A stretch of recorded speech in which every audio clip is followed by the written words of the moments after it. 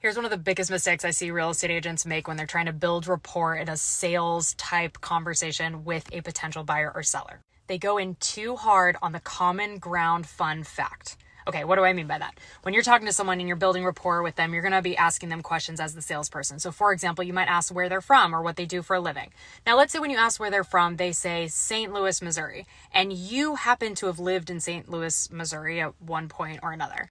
Now, it's a great rapport building opportunity for you to point out that you used to live in St. Louis and finding out from them where they lived in St. Louis. And then, you know, you can have the conversation evolve from there. But the mistake salespeople make is they get too hung up on wanting to tell their version of the St. Louis detail and they miss what the prospect is telling them about their St. Louis experience for example, the prospect might say, "Oh, um, I lived, you know, downtown, really close to the stadium." Salesperson might go, "Oh yeah, I lived in the suburb called XYZ ABC. I lived there for 13 years. Oh, I miss it so much." Blah blah blah.